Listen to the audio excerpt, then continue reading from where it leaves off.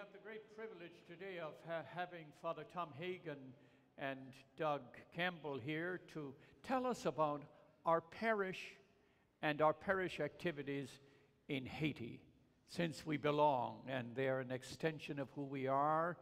And uh, we're so familiar with Haiti, but there are our brothers and our sisters, and we have a special bond of belonging. It's more than spiritual, it's also a material belonging.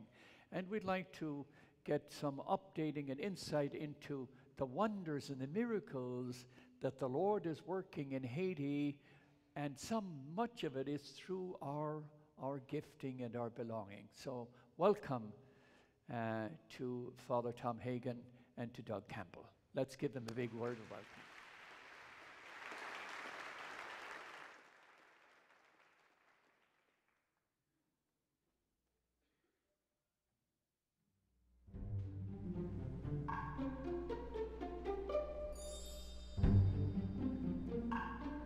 It is almost dizzying in scope what Hands Together is doing through Father Tom, Doug Campbell, and especially the Haitian staff of 700. Hands Together seeks to uplift the Haitian people with a fourfold thrust schools, food, medicine, and jobs. The schools are thriving. 8,000 students in Cité Soleil from preschool through high school. Another 3,000 students in eight remote, impoverished villages. Hands Together schools are the only free schools in all of Haiti. A critical key to health is sufficient food. The Hands Together feeding programs are in full swing. 11,000 free meals daily a monumental task with parents and staff pitching in.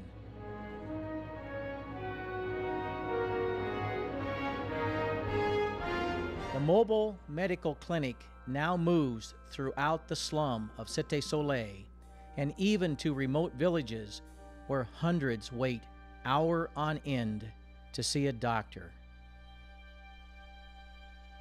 A sound body for a sound mind. Farming should be the number one employer in Haiti. Clark Farm provides a model farm for all of the country. Student farmers are bussed in to learn the latest in agricultural science.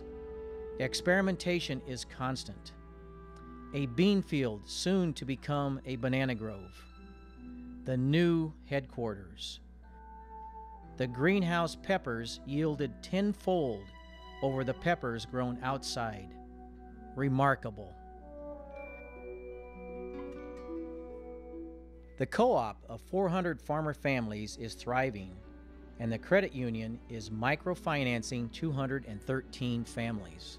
Haitian women leading. The Hands Together Mandala Project continues to show a family how to be self sufficient on less than a quarter acre of land. This dizzying scope is Hands Together. But Hands Together is not standing still. Wonderful new developments are underway.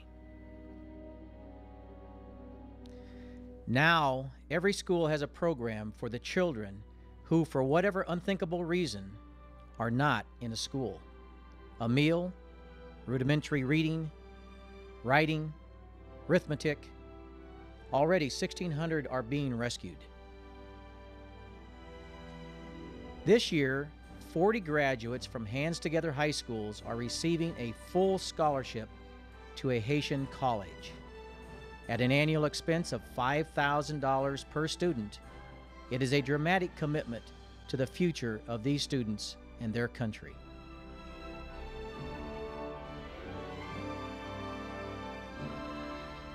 From a pile of rocks just a few months ago, this is the nutrition center soon to be opened in the T. Colive slum of Gonaive.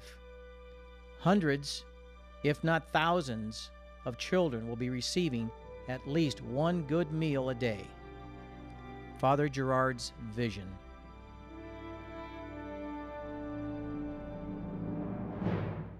Sometimes the small things in life have the greatest impact. Moving from a carjack to a hand press in order to make briquettes is a giant step. The briquettes replace charcoal for fuel, saving the trees, conserving butane, providing cheaper fuel, and creating more jobs.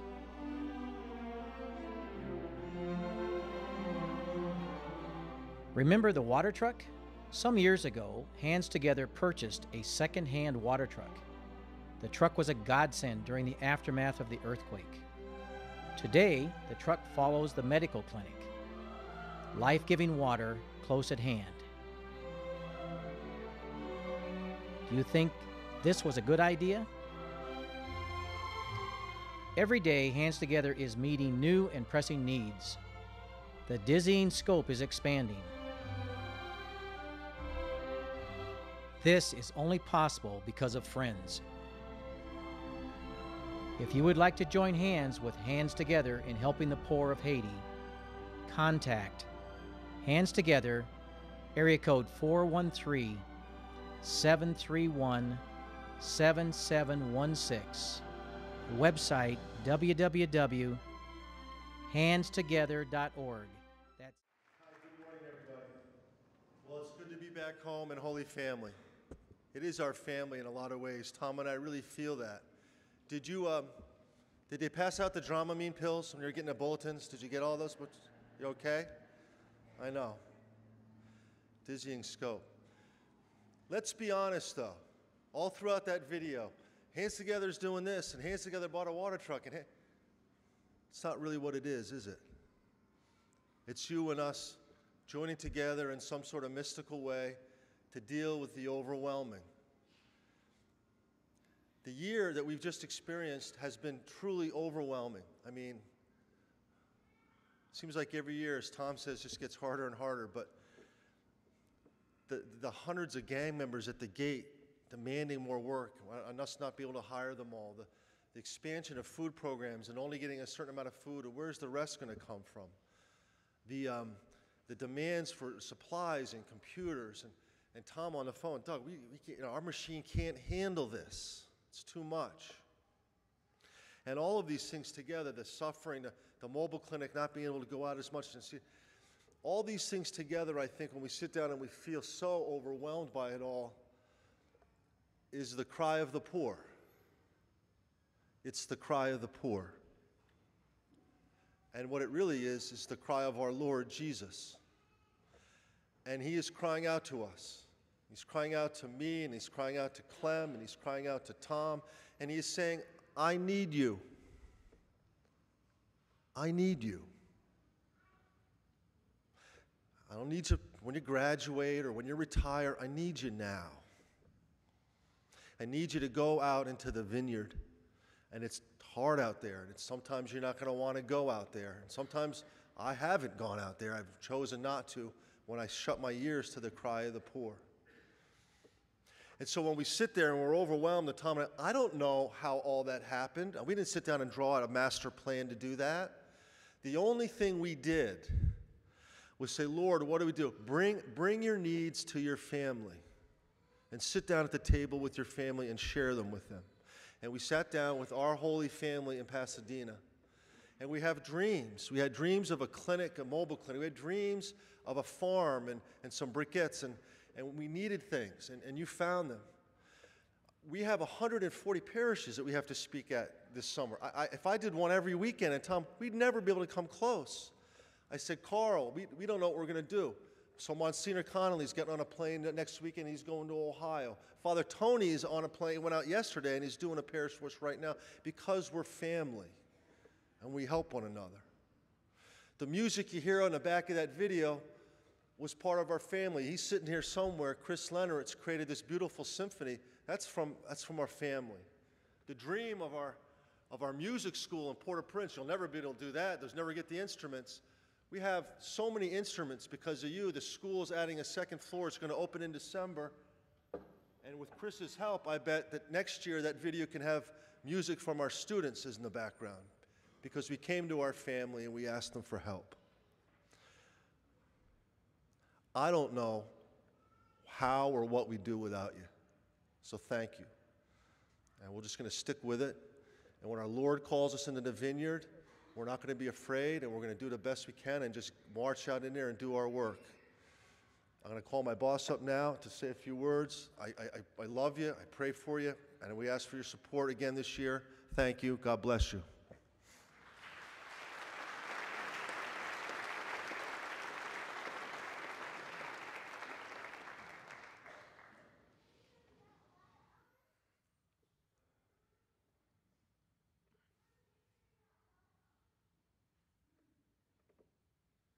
As I get older, I find myself often looking at the tabernacle, find, my, find myself often saying, I can't do that. No. And then somehow I start doing it. This beautiful gospel today, we need not have to interpret it. It interprets us, it touches us. Because each and every one of us in this church has that same struggle. We want to we want to say yes, but everything in us wants to say no. I thank Doug for his witness, and I now witness to you as well. Cardinal Suenens years ago said the definition of a witness is that one's actions would not make sense if it were not for Jesus. It makes no sense at all that a young college student leaves Procter & Gamble and goes down to Haiti and dedicates his life. His name's Doug Campbell. It makes no sense. A wonderful pastor, Clem Connolly, years ago, travels to the, to the most dangerous and poorest slum in the world and says, Our parish wants to be here. It makes no sense to, to do the things that we are doing. And each of us, we struggle with that. But the reason why we do it is because of the Eucharist, because of Jesus. He wants us to do it, and it's hard. Our head and our heart are saying no. It's hard to keep a marriage going, it's hard to raise children in our culture. It's hard to run a large parish like this. It's hard to work where I am in the city, Cité Soleil. I wish I could tell you right now, hey, this year was a great year. But honestly, it's, it was the, it's been the toughest year of my life. I lost a young man I considered my son back on June the 25th, who was shot three times in my house. That young doctor you saw in the video was shot repeatedly outside the clinic. Five of our staff have been killed, and others are in hiding now. But this is the life in City Soleil as it is right now. It makes no sense unless Jesus was present. So I look out at you now, and I, I don't want to, I want to give witness. First of all, I want to witness to the wonderful parish that is Holy Family. When I came here yesterday, I felt at home again. And early this morning, and the comforting words of Clem, and thank you, Clem.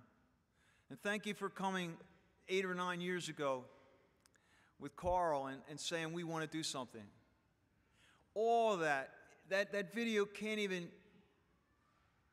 even express or, or, or let you know how much this wonderful parish has done for the people of Haiti and for the people of that terrible slum.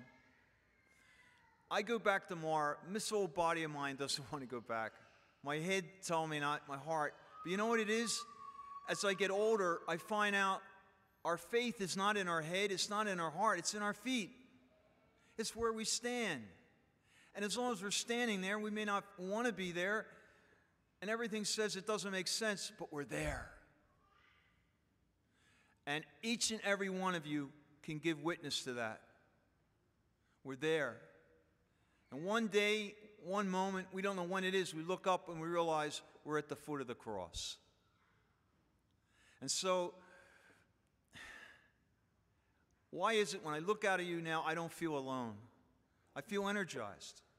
And I think it's because of this great parish. I, I think our Holy Father Francis, he would be really proud of your parish.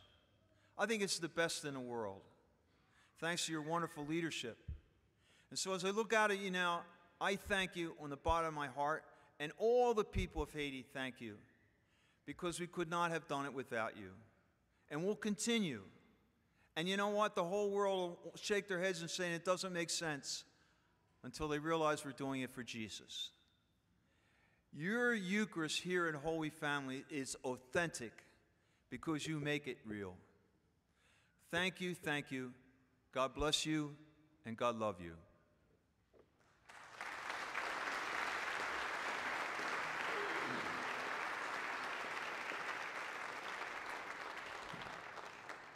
It's a privilege to have Father Tom and Doug here to tell us about our parish and our parish activities in Haiti. In the year 2000, you, the people of Holy Family, had completed what we called the Vision Project, which was to acquire property in the area and to build a school, pastoral center, and to build everything except, except the church. The whole parish was reconfigured and you made that happen. It was a miracle that you made it happen. And then in the year 2000, I began to look at this community and say, but this community always thinks out of the box. That's how we had a vision project, because we th- always think greater things. And I began to think if we keep looking in to get what we need for ourselves, we'll die our spirits will die. So we must look out. And Karl Holschneider, who is uh, the inspiration and the architect of so much here at Holy Family, uh, Karl said, Well, why don't we look at Haiti? Because it's the poorest country in the hemisphere, and it's not that far away from it. It's on our doorstep of the United States. So Karl and I went to Haiti in the year 2000, and that was the beginning of our involvement down in Haiti. And by the way, shortly thereafter, I said it, it shouldn't be a clerical thing, so I handed it off to lay leadership who have been incredibly effective in leading our Haiti mission. And the miracles that happened at Holy Family happened not because of the priest, it happened because of the people. And it continues to happen because Cambria, who is our leader, the lay person leading the parish, the woman leading the parish, makes it happen. She is the one who inspires it now. So I want to say this to you that there is some place deep inside of us. It's the noble part of us, it's the best that's in us. And that part of us wants to give to Haiti. I want to appeal to the best, the deepest, the richest, the most blessed, the holiest part of who we are to say, we really do want to give. And here is the opportunity to give. So, two things I want you to do. One, I want you to take this brochure, take it home, take more than one. Go to the continental breakfast, take a number of them, hand them out, give them to your friends, pass them around to your family, give them to your parents, give them to your, hand them around. Because your families and your friends, they're also part of Mission Haiti because you are part of Mission Haiti. And secondly, I want you to think about giving a gift. Now, when you think about giving a gift, you probably have an idea of what you're giving. I want you to give more than you have in your mind. That's the way we do it. That's the way Holy Family did it. That's how we got a vision project. That's why we are in Haiti, because not only is it good for Haiti, it's good for us. We have the privilege of giving from the heart. We're not giving from the mind now, we're giving from the heart. So think about that. And thank you for all the years in which you truly, truly have inspired me in the manner of uh, being a living church. Thank you very much. And I know that you will continue to support Haiti. Thank you. Thank you.